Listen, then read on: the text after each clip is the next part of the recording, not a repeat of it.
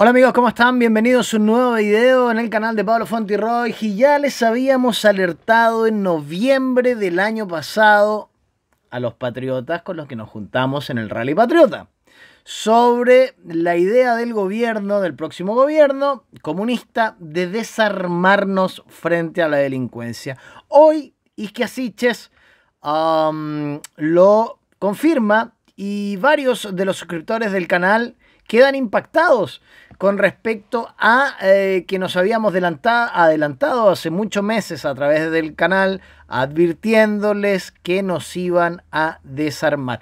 Pero como buenos eh, animales políticos, nosotros ya venimos trabajando, y hablo de nosotros porque somos un grupo de patriotas, veníamos trabajando y vamos a borrar lo que el comunismo está haciendo en Chile con el codo. ¿Cómo lo vamos a hacer? Muy fácil, cambiando las leyes. ¿Cómo? En el Congreso. ¿Con quién? Con la industria armamentística internacional que tiene los ojos puestos en Chile como un excelente mercado. ¿Cómo lo vamos a hacer? Con una nueva ley de tenencia y portación libre, previo requisito, de armas.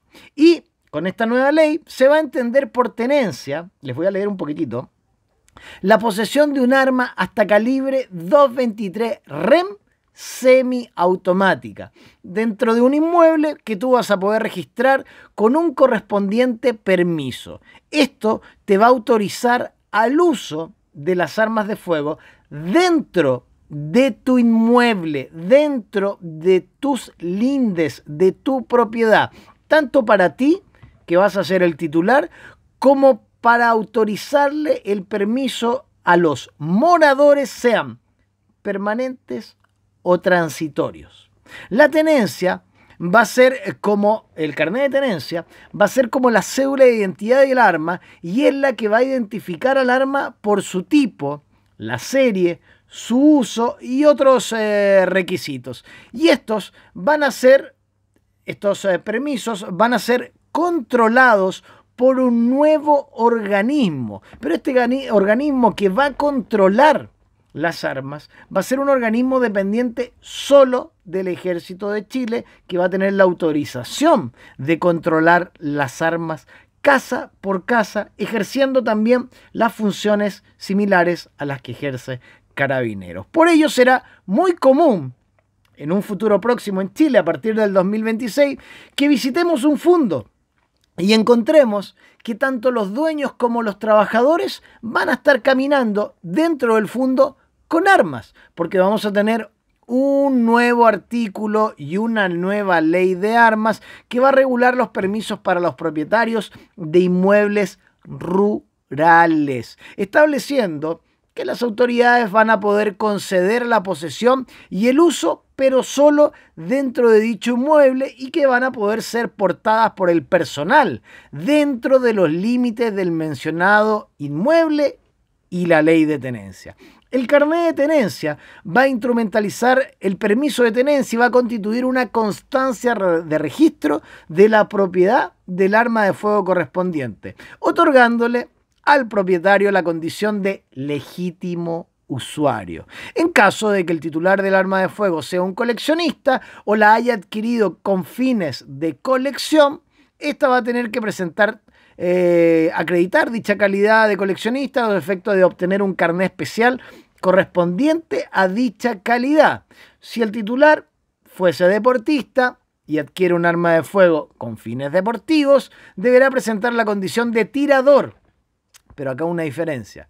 Otorgado por la entidad correspondiente, un club de tiro o un club de caza. Sí, vamos a fomentar los clubes de casa que van a ser reconocidos dentro de la nueva ley de armas en Chile que vamos a tener a partir del año 2026. Ustedes quédense tranquilos, que lo mismo decían del Salvador. Tranquilos, todos estos registros deben ser, van a tener que ser actualizados cada tres años dentro de los 30 días posteriores a la fecha de su vencimiento y en su caso se va a otorgar la renovación. Pero vamos a lo que también nos interesa. ¿Va a haber portación? Sí, y se va a entender por portación al desplazamiento en disponibilidad de uso inmediato del arma o su alcance estando ella cargada o descargada. El portador va a tener que llevar siempre consigo los permisos de tenencia y portación vigentes. Este permiso se va a referir a que vas a tener tú la opción de tener el arma contigo mismo, ya sea en el auto o en otros lugares cerca de uno donde sea fácil el acceso. Estos permisos van a ser otorgados y el control de la vigencia del permiso de portación va a ser controlado por carabineros de Chile en un control cruzado con la tenencia que la va a ejercer el ejército de Chile.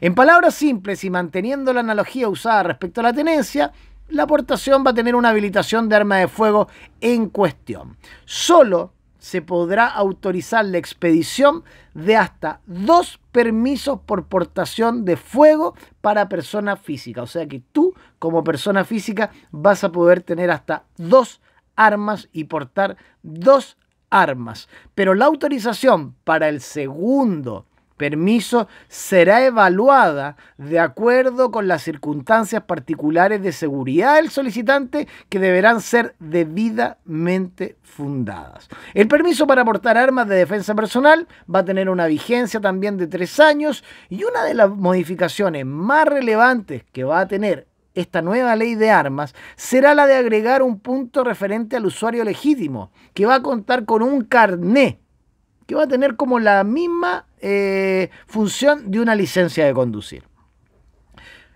¿Cuáles van a ser los requisitos para la tenencia y la aportación? Bueno, eso va a ser importante resaltar primeramente que si bien las personas jurídicas van a poder ser titulares de permiso de tenencia y portación conforme al establecido por esta nueva ley, siendo el enfoque de este análisis o de este video el uso civil y deportivo de las mismas, solo voy a limitarme a referirme a los requisitos aplicables a ti, a personas físicas, a los chilenos y chilenas y residentes extranjeros legales en nuestro país. En este sentido, las personas físicas que deseen obtener su correspondiente permiso de tenencia o portación deberán cumplir con los siguientes requisitos. Así que que no te importe lo que es que Asiche y este gobierno comunista están diciendo, porque en el futuro, en pocos años, estamos en 2022, 2023, 2024, en cuatro años más vamos a cambiar la ley de armas y vamos a hacer que los chilenos tengan tenencia y portación. Es más, la industria armamentística está feliz con este proyecto de ley que estoy seguro los chilenos van a aprobar en su gran mayoría. ¿Cuáles son los requisitos? El primero, van a tener que completar un formulario suministrado por la armería, debidamente diligenciado y con una copia digital y física a la autoridad pertinente. Después, van a tener que presentar una fotocopia autentificada ante notario de su cédula de identidad, no digital. ¿Ok? Tercero, van a tener que ser mayores de 22 años de edad. 22 años de edad. Después, cuarto, van a tener que presentar un certificado que acredite que no poseen antecedentes policiales ni en el país donde residen ni en el país de origen. También van a tener que presentar un certificado de manejo seguro de armas otorgado por un club de tiro, que va a estar en una lista de clubes de tiro certificados y que ustedes van a poder acceder. Esos clubes de tiro los van a certificar instructores del Ejército de Chile e instructores de carabineros de Chile, dependiendo si es tenencia o es portación. Por otro lado, del mismo modo, para las personas físicas que soliciten permisos de portación de armas, los requisitos van a ser los siguientes. Ser mayor de 22 años de edad, van a tener que presentar un certificado de no poseer antecedentes policiales en el país donde residen y en el país de origen, y además se adjunta que van a tener que tener un certificado de no poseer ningún ningún antecedente penal en Chile o en el extranjero. Ningún delito. Un delito y prohibida la abortación.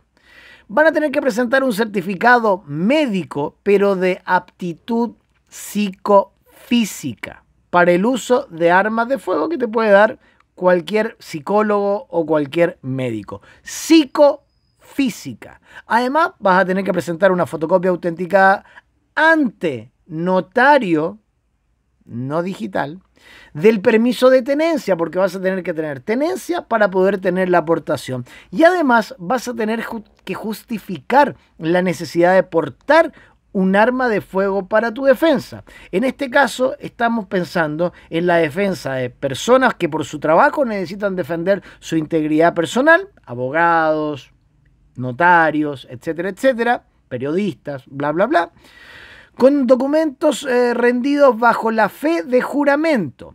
Si tú sufriste una amenaza de muerte, si fuiste objetivo de un atentado, de un robo, de un robo al lugar no habitado, si entraron a robar a tu casa, si te hicieron un portonazo, si te hicieron una encerrona y está debidamente la mm, denuncia habilitada en una comisaría o en comisaría virtual y hay un proceso fiscal de investigación en este caso, o no haya un proceso fiscal de investigación, si tú eres víctima de un hecho delictivo, automáticamente vas a acceder, previo a todos estos requisitos, a tener la opción de la aportación.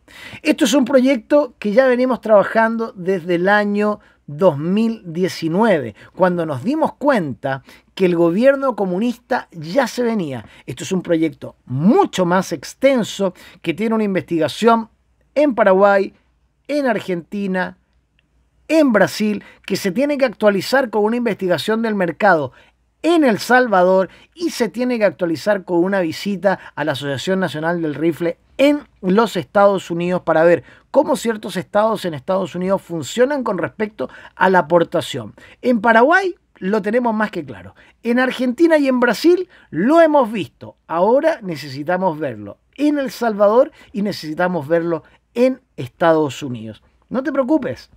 Que digan en los medios que nos van a desarmar. No importa porque en cuatro años más la historia en Chile va a cambiar. Sigamos conectados a los próximos videos acá en el canal de Pablo Fontirrey. Les recuerdo a todos que estos videos no se financian con aportes eh, de partidos políticos, fundaciones, ONGs o con tus impuestos. Estos videos se financian gracias a los aportes económicos libres y voluntarios de personas como ustedes que valoran mi trabajo. Si puedes aportar económicamente y libremente con este canal, lo puedes hacer a través del botón unirse abajo de este video. También lo puedes hacer a través de las distintas plataformas que tengo para ti.